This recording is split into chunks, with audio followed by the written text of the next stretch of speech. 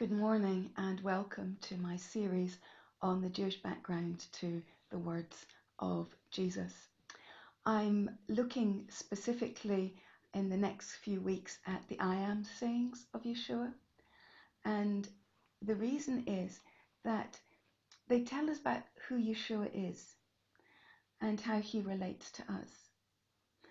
And I genuinely believe that in order to, to really understand what Yeshua wants us to know, we have to ask about the Hebraic and the Jewish context into which he was speaking. As we do this, I think we will have a look and we'll see if the Jewish background sheds any new light on what we already understand from these incredible statements that Yeshua made. I was uh, helping somebody write a job application yesterday, and in it, you have to write a personal statement explaining why you are specifically suited for the job, what talents you have, what makes you unique, and what makes you stand out. And the I am sayings of Yeshua are his personal statements. They tell us what is unique about him. They tell us what is his mission. It's become a, this word that we so often use in church and in communities about mission has become a, a word for the, the business workplace. We're talking about needing a mission statement. And in many ways, the I am sayings of Yeshua are his mission statement. They are telling us who he is and why he's uniquely and perfectly suited to the task that was set before him. A well known uh, Jewish writer speaking about God said this God is not an object of discovery, but the subject of revelation. And I think what he was trying to convey to us is this that God wants to reveal himself to us. And the pursuit of knowledge about God may make us learn it, but it won't satisfy the heart or the soul. When I was studying in Bible college many years ago, we used to say, if you're all in the head, you dry up. And if you're all in the tummy, you blow up. Um, or all in the heart, you blow up. So I think there's um, a balance between what we know about God and what how we know God. So yes, knowing about God helps us to know Him. Last night, when I asked the question, how do we get to know God? Somebody wisely said, well, like getting to know anybody, you spend time with him or her. You um, journey with them in life. You spend time listening to them. And that's how we get to know and how to experience God as well. We journey with Him. We study His Word. Not just for what we can learn about Him, but so that we can know Him I was thinking that um, I often write Bible studies and I have to find something to say to others.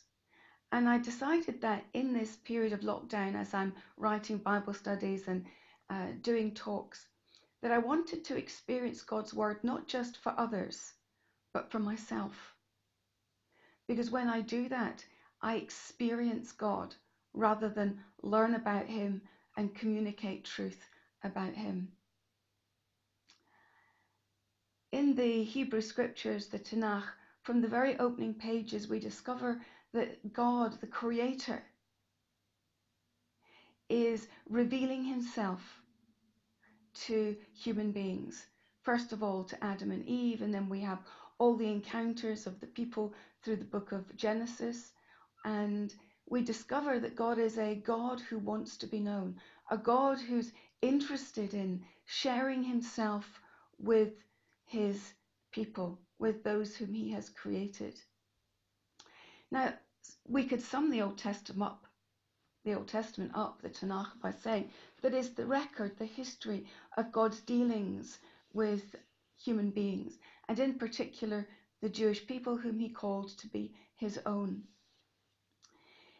He revealed to them and to us as we read the scriptures who he is but not only that, we learn about what he planned to do, not only for the Jewish people, but for all humanity. The scriptures are more than simply the record of God's history with human beings. They contain the unfolding love story of the Creator making himself known to us. So, why am I focusing on the I am sayings of Yeshua? Well, in them, he gives himself names. And in the Bible, names are really important because they teach us something about the person, or they teach us something about God, or they teach us something about the way God relates to us and we relate to Him. I read somewhere when I was doing a study a number of years ago um, the answer to the question, What's in a name? Well, a name tells you what something is. So if I know what a pen is, ah, I can write with a pen. And I'm only limited by my own personal imagination about how much or what I write. But there are only so many things you can do with a pen because a pen is simply a pen. And it has its own set of limitations. But at the same time as having limitations, it gives you capacity to do something, to create something, to write something. And the names that we have tell us something about uh, ourselves. So in um, Scottish, because my name is ultimately a Scottish name, it is Fiona. And Fiona in Gaelic means fair, as in fair skinned, although I'm not really that fair. I think I conned my family. I was born with blue eyes and blonde hair. I'm not quite sure what went wrong. But so they called me Fiona.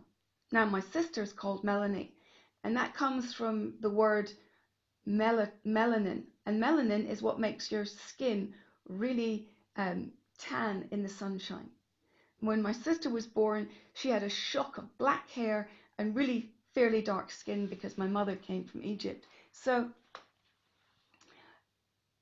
names tell you something about us told me, tells you that my father wanted to convey something about our Scottish heritage. But names can also be used to limit us. The children of Israel were called slaves. Slaves had to function, they had a job to do, they had to do the work, they didn't have freedom. And so to be a slave was really a very limiting description of who the children of Israel were. But when God redeemed them, when He took them out, He called them His children. So before, when they were slaves, there was a great limitation placed upon them. It's a real limitation. But when they came out of slavery, when God took them and met them at Mount Sinai after He delivered them, He calls them His children. Now, being a child of God being the people of God, enabled them to fulfill their potential. And God, in that potential, gave them a destiny, a ministry, and a purpose. Now, when we understand that we are God's children, we understand that we also have destiny, purpose, and mission. And knowing who God is will help us, I believe, to really enable us to reach that potential, to fulfill our capacity, to be the people God has created us to be. But hang on a minute. I think we should get back onto track here. Now, what's in a name is important. There's a promise that the prophet Isaiah wrote that comes from the very heart of God. In Isaiah 52, verse 6, we read, My people will know my name, therefore in that day they will know that it is I who foretold it. Here you have God speaking about people knowing his name. But something struck me about another promise that God gives to those who seek Him.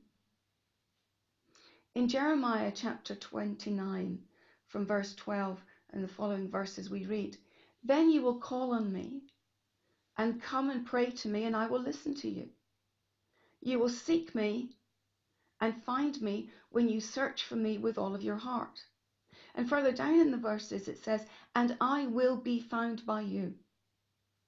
And I love that. I absolutely love that statement.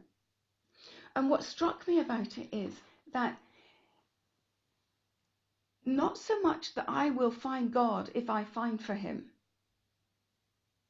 If, sorry, not so much that I will find God if I search for him, but rather he will be found by me when I search for him with my whole heart. And what strikes me is this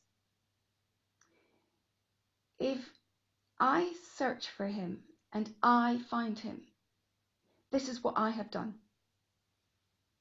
But if I search for him, he will be found by me. In other words, God is meeting me halfway.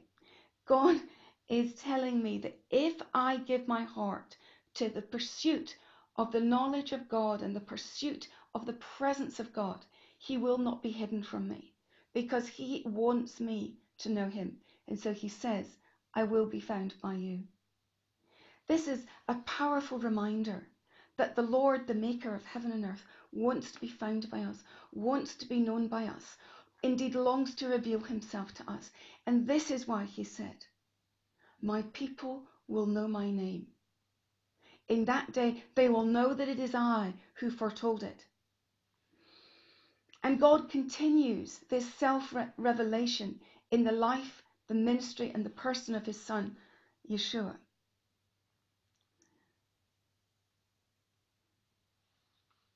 Yeshua spoke to Philip once and said to him, have I been with you so, for so long a time? Haven't you come to know me, Philip? He who has seen me has seen the Father. You see, as we get to know more about Yeshua, we learn more about the Father.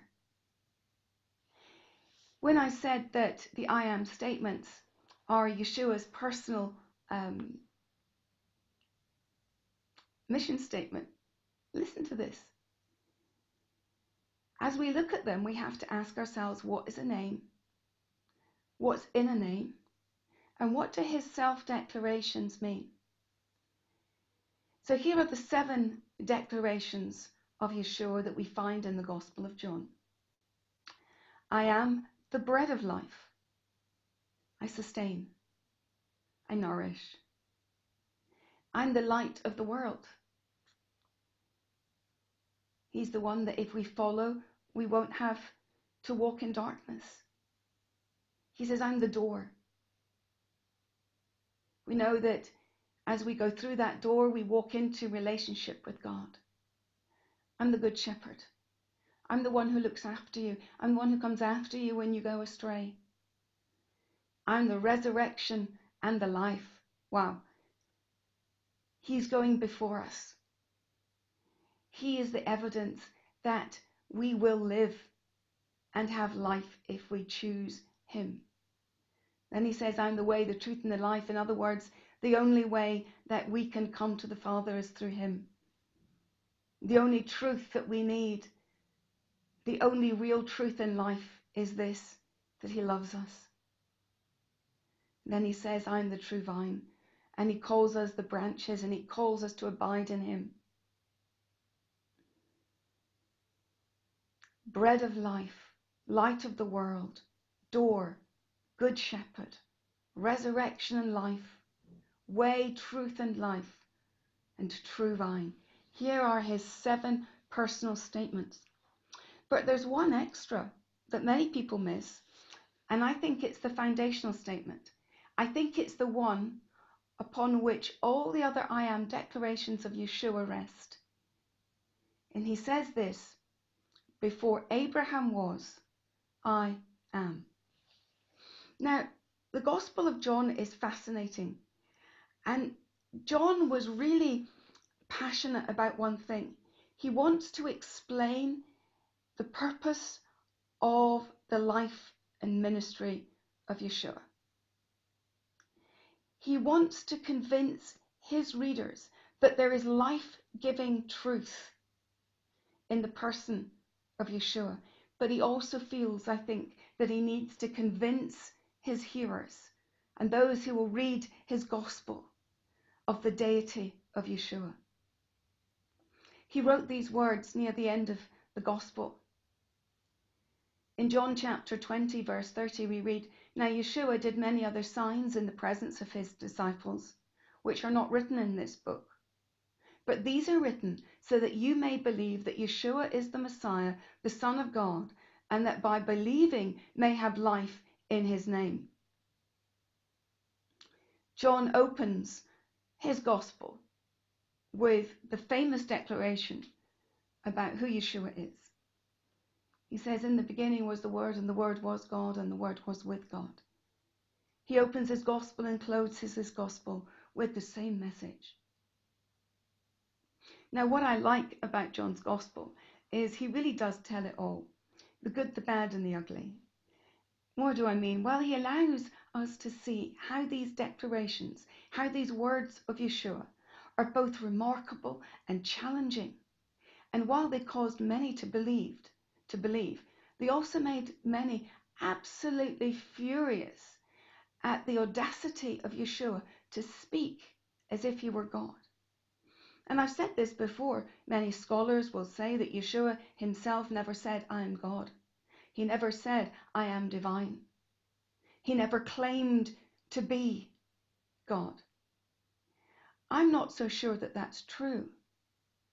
Why?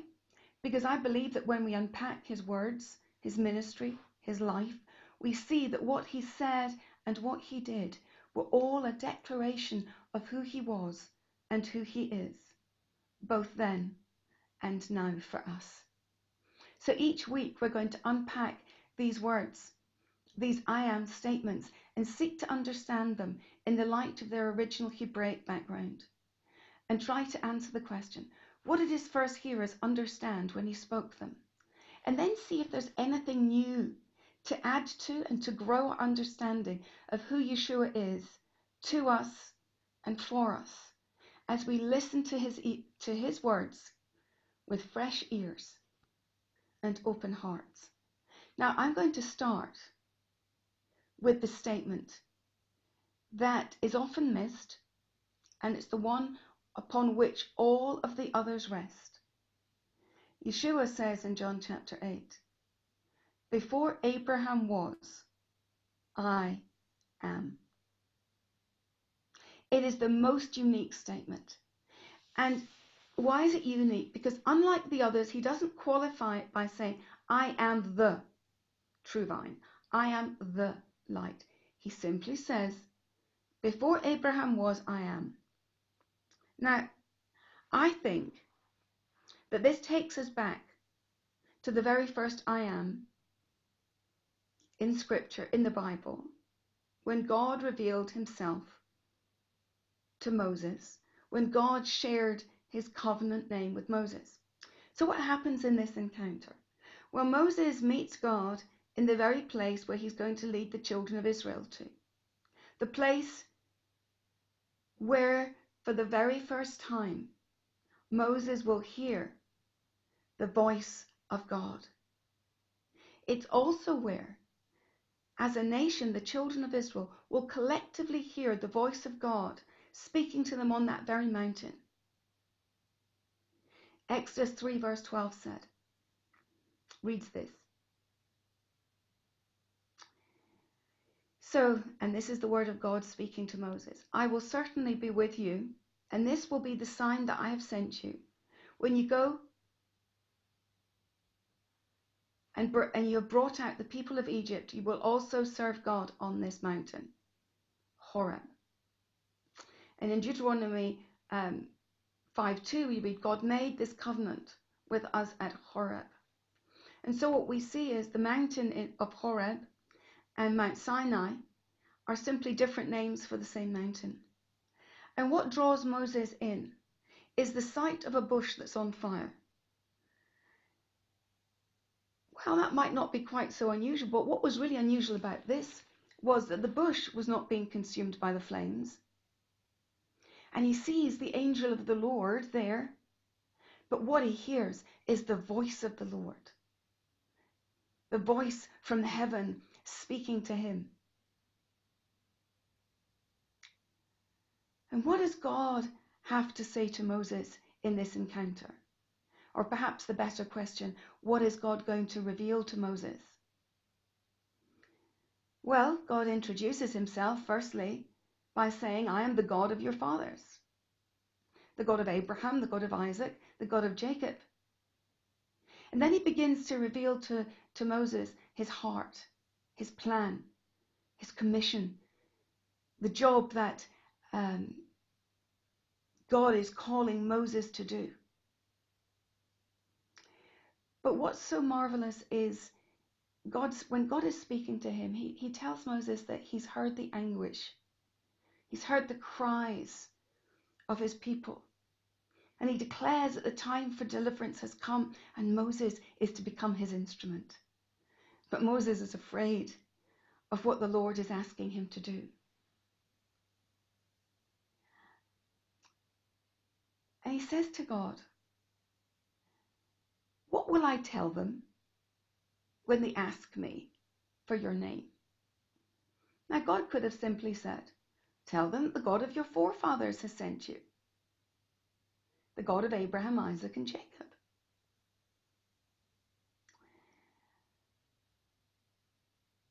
But God says to him, I am who I am.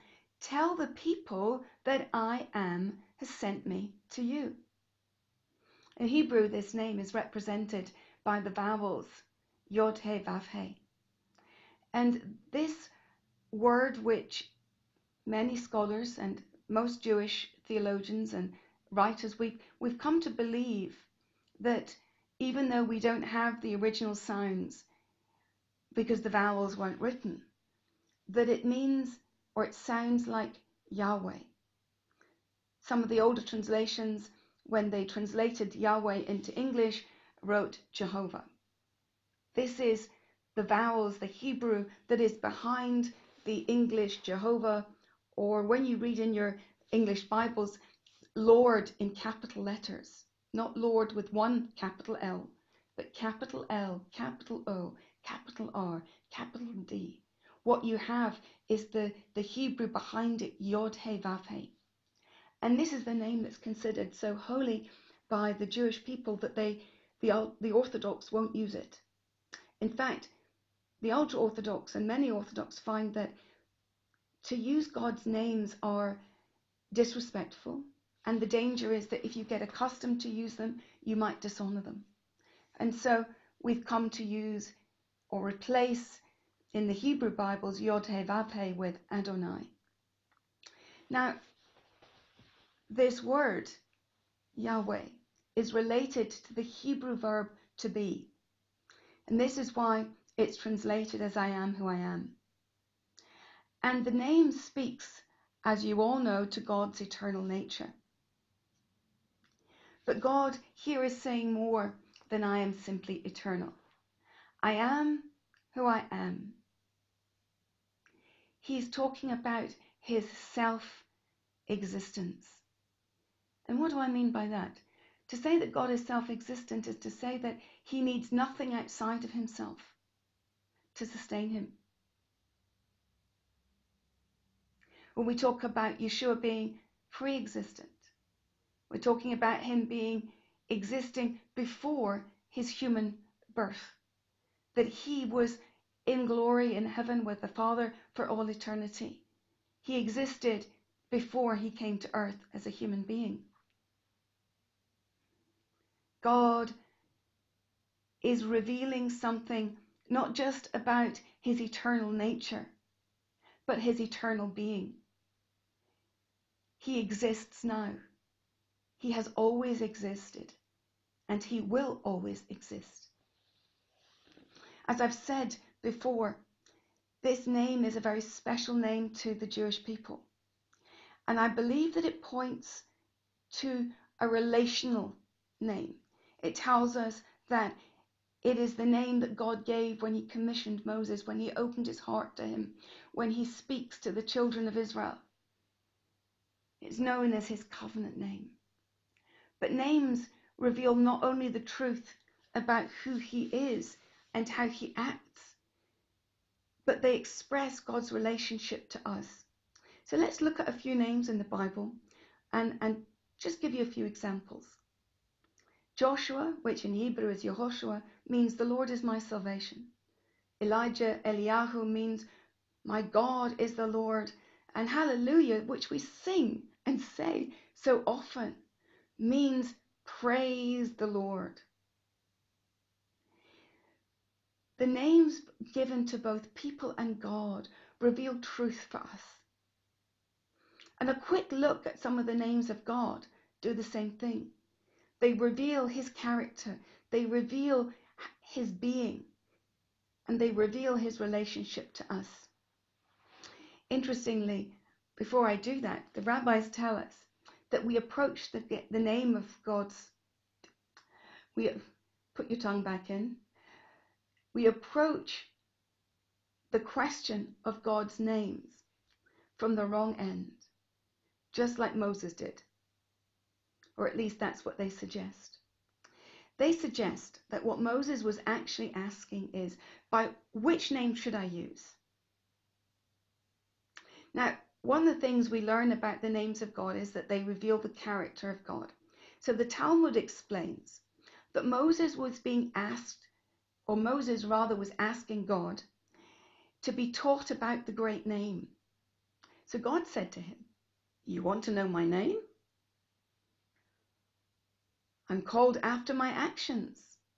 When I judge my creatures, I'm called Elohim.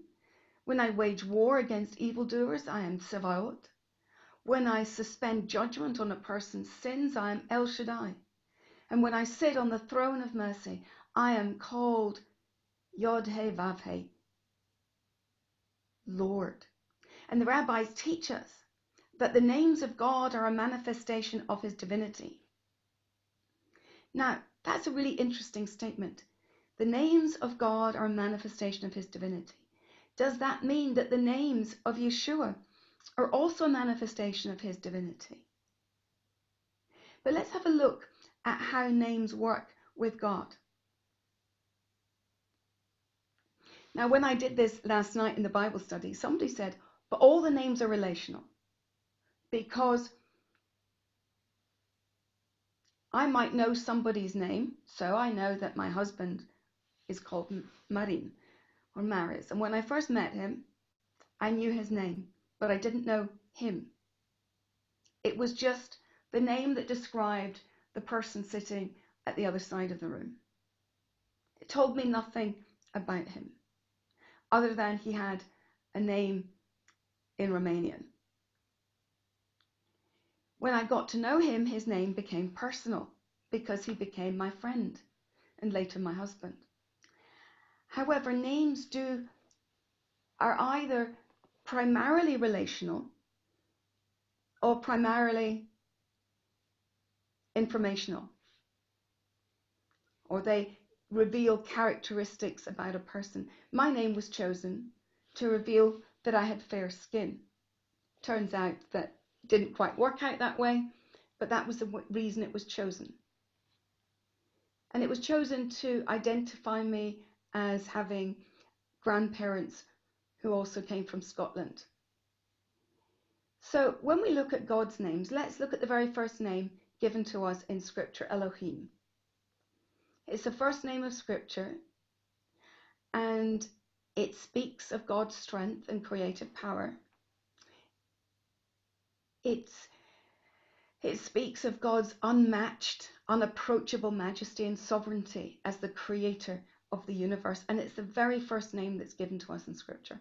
And as someone pointed out last night, it's unique in that it's plural. And there are two reasons for this. One, and the first one perhaps I think is the greatest of the two reasons, is because God was revealing from the very beginning that he's more than a single being. He's a, a unified being. That in him exist Father, Son, and Holy Spirit. Another reason for the plurality of this name may also be that El was a Canaanite name. It was the name of ancient gods, and in fact, all gods were called El, and El simply means God. And some scholars suggest that Elohim also means that he is the God over all gods. And we see that in the Shema. This sense that, um, Hear, O Israel, the Lord our God, the Lord is one. He is the one God. He is the only God, the true God. Another name that we read early on is El Elyon, God Most High. Again, this is the God we understand who's revealed as sitting in heaven in glory. He's above us. And then we have El Roi, the God who sees. Now, this could be informational, it's a character. He's a God who sees and knows. But the name is revealed when God meets Hagar in the, the wilderness when she's suffering, when she's run away from Sarah, who was treating her and causing her pain. And in this meeting, God shows he is loving and omniscient. He knows all things and he sees all things, and his knowledge is unlimited. And he uses it to demonstrate his love. El Roi is the God who sees, the God who responds to the pain of his people. El Shaddai, one of the, the church's most favorite, I guess, names for God and made famous by that song, El Shaddai. It means mighty God, or the Almighty Sept- the Septuagint, which was the Greek translation of the Hebrew scriptures, um, wrote it. But it can be translated also as my God or my Lord. In Psalm 91, in the it's translated as the God of heaven. And when God, when Abraham met El Shaddai, he fell before him in worship. And so we see that some names are about God. In particular, they tell us who he is.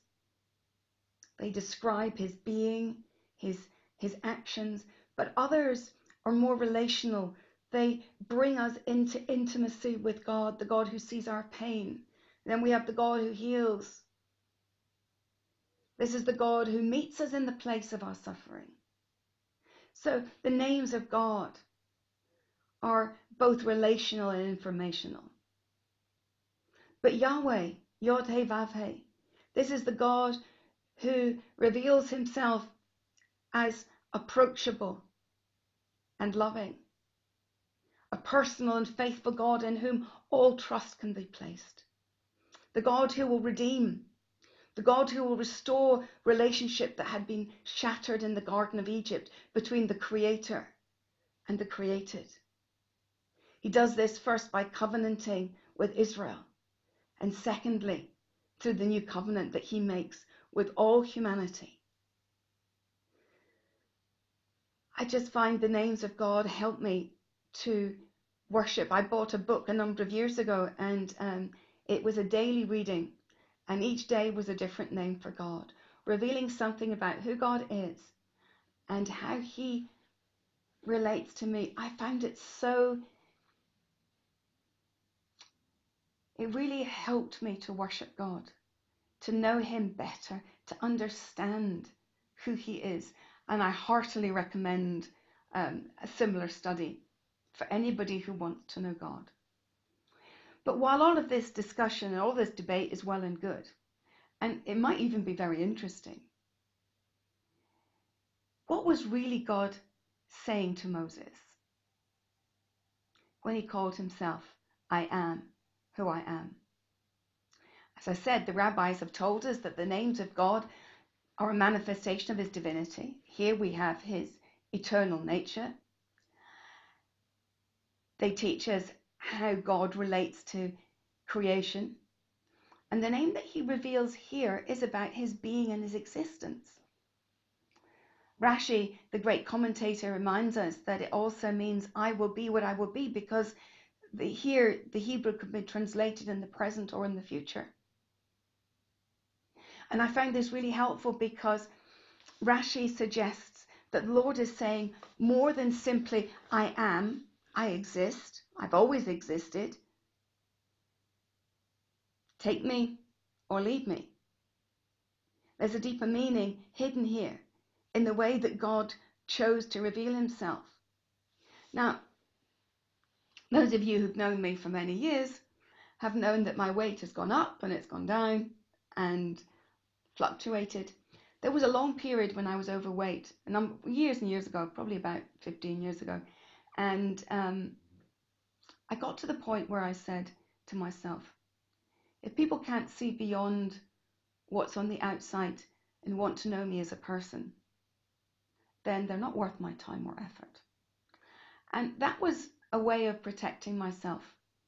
I also said to myself that when I do lose weight and these people want now want me now to be their friend in public spaces, well, I won't have any time for them. You see, sometimes you're judged by what you are or what you appear to be. But God doesn't want us to judge him in what he appears to be. He wants us to look deeper and know who he truly is because that's his heart. Now, what Rashi challenged me here to think about was the deeper meaning. You see, God chooses how and when to reveal himself. He decides what to ascribe to himself and what God is saying here is not simply, this is who I am, accept it. Rashi put it similarly. He said this, he said something along these lines that God was making a declaration to Moses for the people of Israel.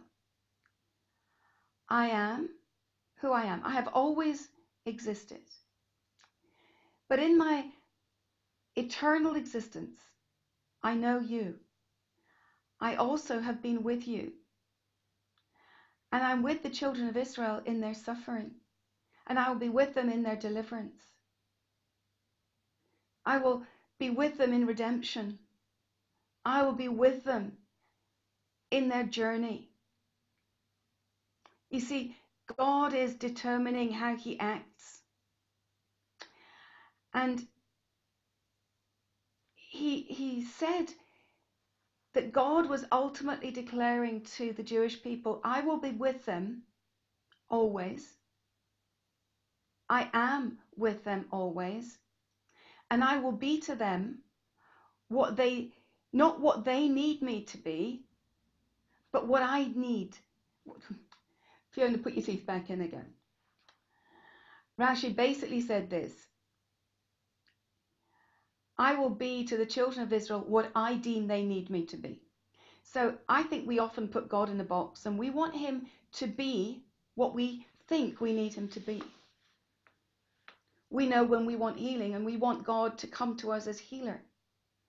God sometimes comes to deal with our sins. Think about the man I spoke about last week who came. His friends carried him to meet Yeshua. Yeshua didn't say to him, Be healed. He said, Your sins are forgiven. Because he understood that that man's greatest need was not healing, but was forgiveness. You see, God decides, God knows better. Now, those of you who are parents will know this that you don't give your children everything they want, you give them what they need at the right time. Sometimes you give them special gifts, sometimes you give them things that they desire just for the pleasure of giving and for the pleasure of seeing their joy in the gift. But with God, we see that that also works. But God will decide what we need at the right time and will provide. You see, God is not a supernatural heavenly supermarket we go with our shopping list of prayer requests. No, He's the eternal God who wants us to be known to Him, known by Him, and for us to know Him and to be known by us.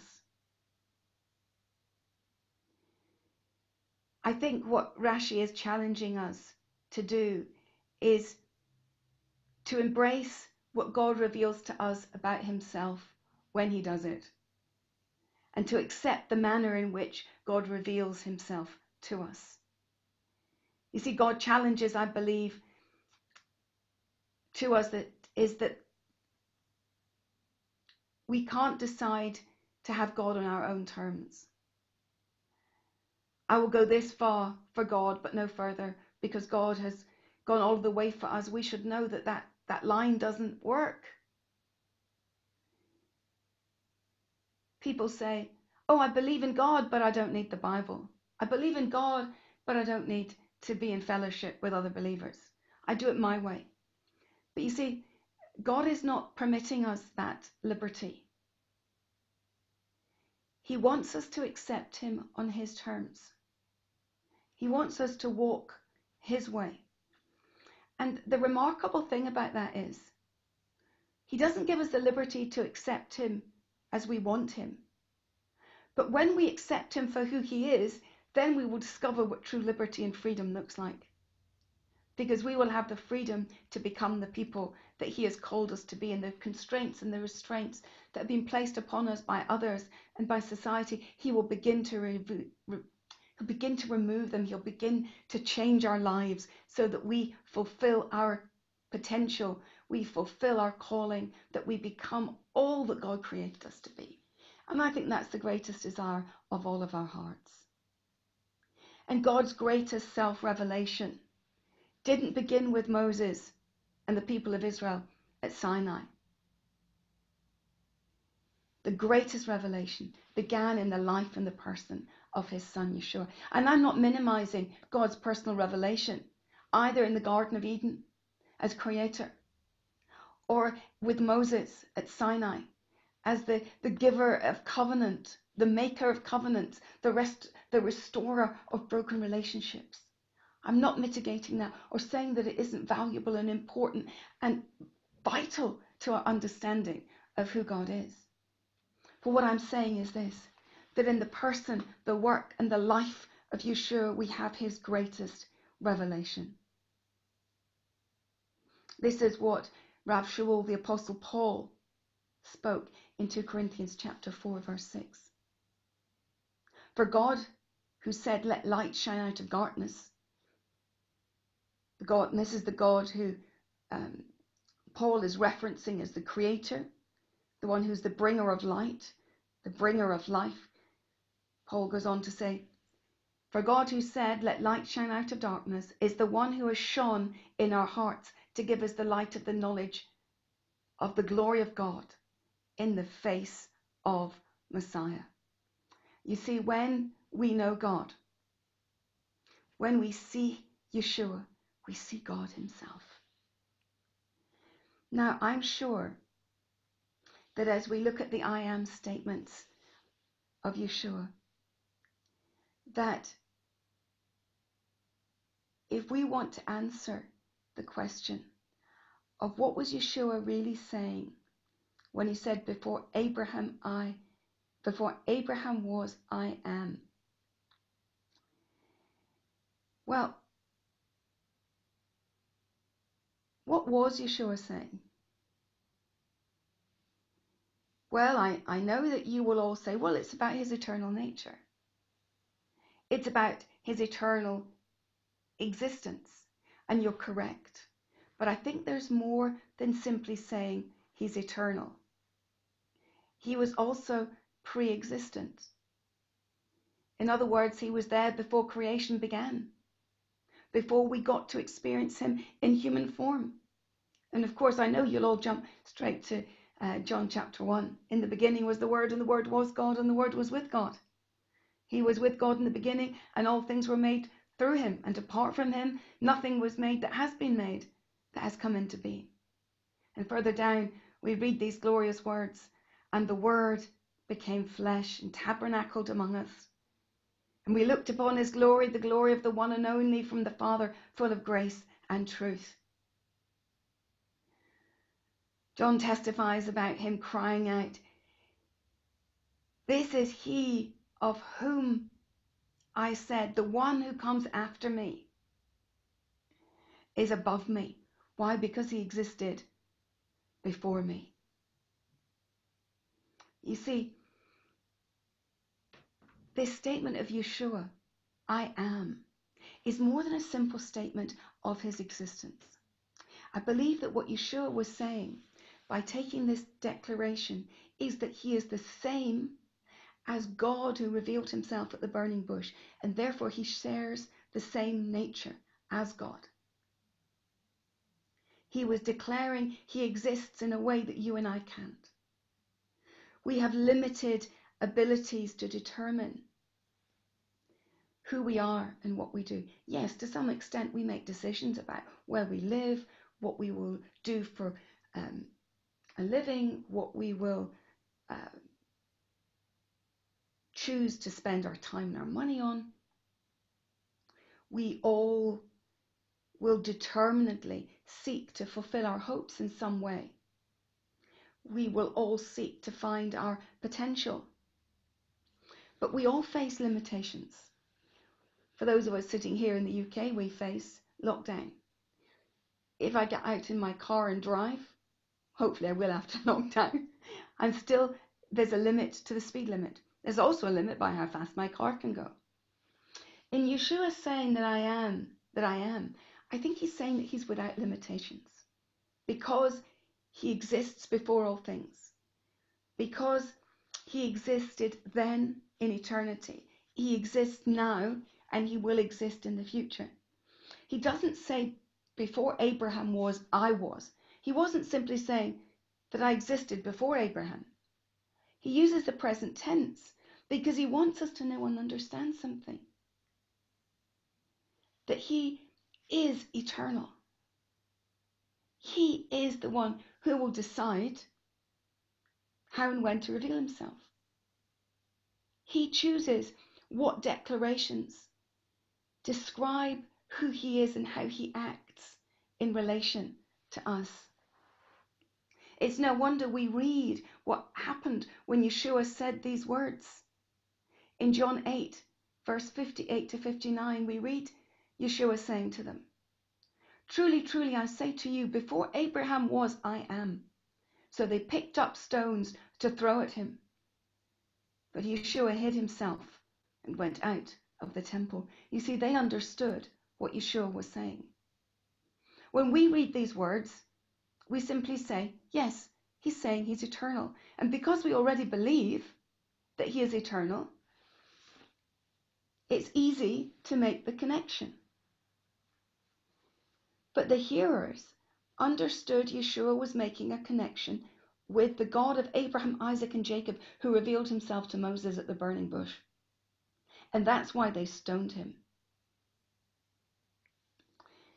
Yeshua was basically saying to them, All that the Lord is, I am. And just as God was telling his people that he would be with them and he would be all to them that they needed, both then and forever, so Yeshua, in saying, I am, is making that same promise. And this promise wasn't limited to his physical lifetime because he made this promise to us all. In Matthew 18, at the very end of the Gospel in chapter 28, Matthew 28, verse 18 to 20. And Yeshua came to them and said, All authority in heaven and earth has been given to me. Go therefore and make disciples of all nations, baptizing in the name of the Father, of the Son, and the Holy Spirit, teaching them to observe all that I have commanded. And behold, I am with you always, even to the end of the age.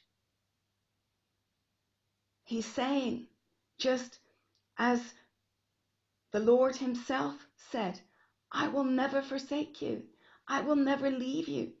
And we read those words in Deuteronomy 31, verse 6. The promise of God to his people Israel is this Be strong and courageous. Do not fear or be in dread of them, for it is the Lord your God who goes with you. He will not leave you or forsake you. And this is why Yeshua makes that very same promise the promise that will echo for all eternity. I will never leave you or forsake you. I am with you. Behold, says Yeshua, I am with you always to the end of the age. You see, Yeshua fulfills it perfectly because in Yeshua, God has shown us that He will never abandon us, He will never leave us. Yeshua has said, He who has seen me has seen the Father. He has said, I and the Father are one. In everything that Yeshua says and does, He is demonstrating his deity. He is demonstrating his divinity. People, as I have said, believe Yeshua didn't say it. I think if you were a Jewish person listening to him in the first century, you would have said exactly that. Yeshua claims to be God. He claims to be divine. It's blasphemy. Stone him. So when we hear with first century ears the words of Yeshua, they are powerful, revolutionary, and changing. And we come face to face with a God who enters history, who makes himself known to the people of Israel, who enters in, in a most incredible way human history in the person and the work of his son Yeshua. I found this incredible quote, and I'm going to read it to you because I think it sums up both what Yeshua was saying and what I am trying to also communicate. So, someone else wrote this. Before Abraham came into being, God was already at work in human history. And it is the same God that worked throughout human history to reveal himself as a God of salvation, deliverance, and grace who stands before you now in Jesus Christ. It takes all of us. It takes all of all sorry, it takes all this for us. First century Jews, Christians today, familiar with the Old Testament, would have understood all of this in the simple before Abraham came to be, I am. Yeshua, in the I am statements, is going to reveal more to us about who he is, about how he is at work how he reveals God at work in human history. The I am statements are all relational. Yes, they tell us who he is and how he exists, they tell us how to live with him, how to follow him, how to walk with him. So as Yeshua reveals more and more of himself to each one of us, may we embrace all that he has for us. May we embrace him as he is, as he is, not as we want, but as he is. The God, the God of all creation, the Redeemer, is the one with whom Yeshua says, He and I are one. If you have seen the, me, you have seen the Father. Get to know me. And you will get to understand and see and have revelation of the glory of God. We are meant to look into the face of Yeshua and learn of him. And as we learn, grow in our walk and our relationship with the Lord Almighty, with Elohim, El Elyon, the God Most High, longs to know you and he longs to know me. I hope this has been a blessing. I hope that it has added or contributed a little to what you know about God, and in so doing, will give you fuel for worship. I was at a conference many years ago, and this is what someone said. We were divided into groups, and um, people had to choose the study group at this big conference by the name of the newspaper. You could go to the the Times, the Observer, the um, Express, and the Mail, and they were all levels of. So I'd gone to the um, the Sunday Times, and some people from the Mail, the Daily Mail, came in and said we had to repent because we thought that you were just interested in, in knowledge and in the end we felt kind of second class citizens because we realized that we couldn't go to the Sunday Times group because it was too advanced for us. And we had to repent because we discovered a truth that the more we know about God, the more we have to worship God with. And knowledge about God should be the fuel of your worship. And so the pursuit of knowing God is a valuable pursuit in your life. If you will use it to worship Him, to embrace Him, and to walk with Him in the way that He is wanting for you, and you will discover freedom, joy, and you will also discover that you have things, potential, ministry that you never expected. Walk with Him today and allow Him to shape your future and your destiny. Shalom, shalom.